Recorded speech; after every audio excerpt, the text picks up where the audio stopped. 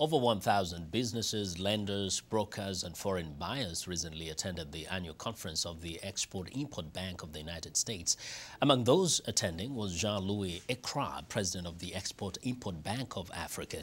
During an interview with him, he says his institution is unique. Uh, we are probably the only ex-im bank that actually finance export and import from what you understand, what has stopped Africa from diversifying in its trade? And why is Africa not selling processed uh, goods rather than raw material? One of the problems of our continent in terms of uh, achieving the degree of processing has been a political will and the means. Once you have developed the political will, then you can develop the means. Unfortunately, when the price of commodities go up, the uh, inclination to just sell those commodities as they are is there, rather than trying to uh, give them uh, further degrees of uh, processing. And one of the things that our bank has been doing, we have what we call an export development finance program, where we team with US uh, Exim, Exim China, Exim India, to bring equipment in Africa, but equipment that can help Africa process their goods. Change this old paradigm whereby Africa is just a provider of raw material, which it has been since the colonial times. So we're trying to change that. Are there people who are directly benefiting from Exim Bank Africa that have been able to trade abroad as a consequence of the programs that you have? Yes, there has. There has been. Uh, the, the one that we have been uh, mostly uh, involved in are uh, provide provision of uh, heavy equipment. Uh, you take extractive industries like gold mining or, or even oil to some extent they need equipment. So some of the financing have gone to that.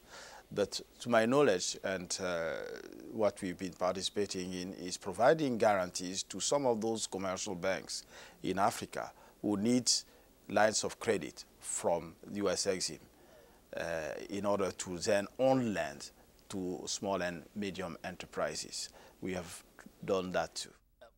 Some have said that uh, if Africa could maximize on the market that is, uh, exists within the continent, there's a continent of uh, close to what, a billion people, that it would perhaps not even worry so much about export for now. Now, what can be done to achieve that? Because there's very little trade that is happening between African countries.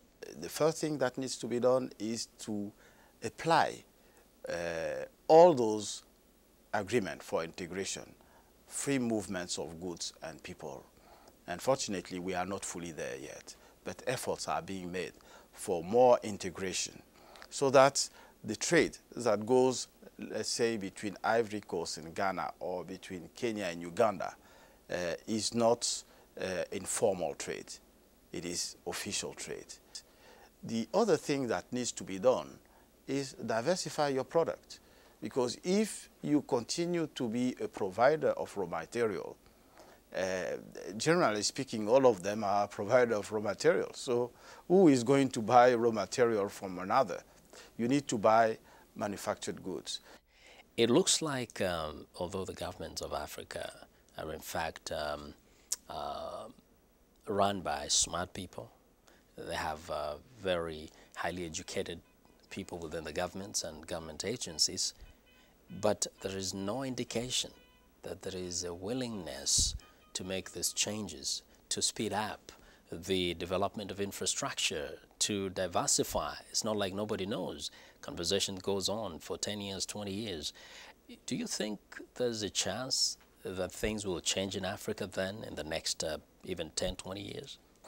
I, I, I do think and I want to believe that it will change.